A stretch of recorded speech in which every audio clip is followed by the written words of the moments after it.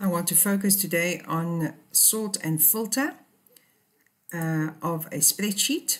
When you open your spreadsheet, um, you can now sort the information or filter the information. Now, why would I want to filter my information? I can filter the information if I have a big spreadsheet with a lot of information, if I only want certain information to show. So I select my block or my first cell I go to the right hand corner, I go to sort and filter, click on the down arrow and there's different options sort A to Z, Z to A, custom sort and then I want filter. So I click on filter. As soon as I click on filter, I will get down arrows that appears next to each of my column headings. Now I want to filter my first column gender. If you click on the down arrow, at the bottom, you'll see at the moment that the male and the female is selected. Select all. If I click on select all, the ticks will disappear.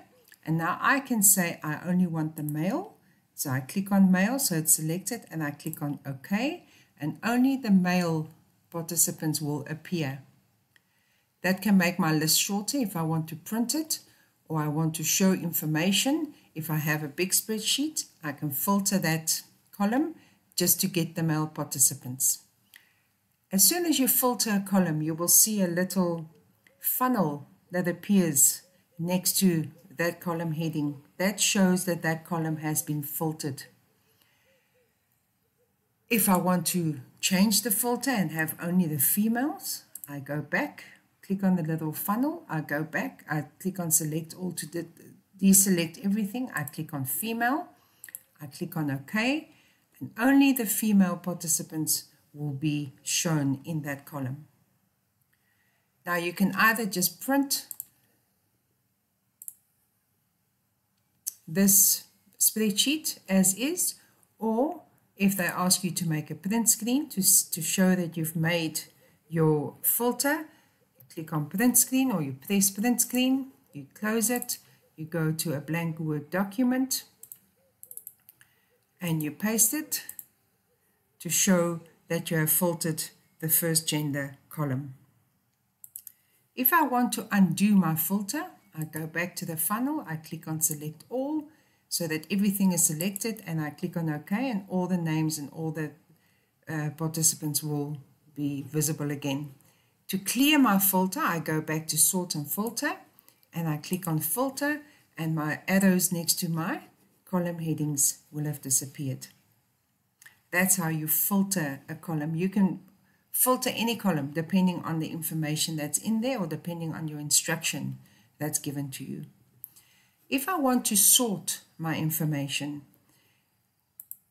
you can sort your information just by um, one column, A to Z or Z to A, but we will focus more on custom sort. So make sure you are in A1, sort and filter. If you go to custom sort, your sort menu will come up.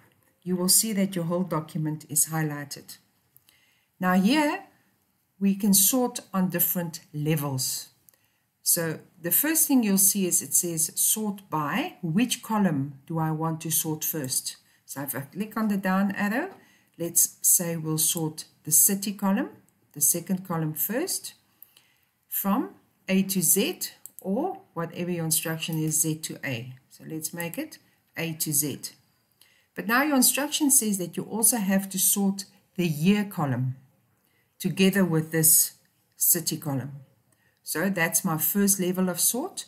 At the top there you will see it says add level. So you click on add level, then you'll get your second level. So first you sort by city, A to Z. Then you sort by year, smallest to largest or largest to smallest, depending on your instruction. Let's make it smallest to largest for the sake of, of this exercise. You can add another level. You can add as many levels as they, they ask you to add. So this is how you custom sort by multiple levels. So after you've put in your different levels of sort, you will have to make a print screen of this little sort box for me and paste it in Word. So press print screen. You will say OK there. You will minimize. You will go back to your Word document and you will paste it so that I can see that you sort it on multiple levels with the correct information in those levels. Just a quick re re recap. If I want to filter, click on filter, filter, and there's my little arrows. Depending on which, let's sort filter the city. We only want the East London or the Port Elizabeth people. So you tick Port Elizabeth and there you filter that column. So there's only two people for that year in Port Elizabeth. I want to take my filter away, I click on the funnel, I click on select all, everything will be selected again and I click on OK and all my information will be back. To take my filter away, click on sort and filter again and I click on filter and there's no filters on top. If I want to sort by multiple levels, make sure that you are in A1 click on sort and filter, custom sort. Your whole document will be highlighted. Here's your different levels. Sort by, you select the first column or the column that they tell you that must be sorted first, A to Z. Then you can add a level. Then by year, smallest to largest, you will have to make a print screen of this. So you press print screen you will click on OK. You will minimize. You will go to your Word document and you will paste your print screen there. Thank you.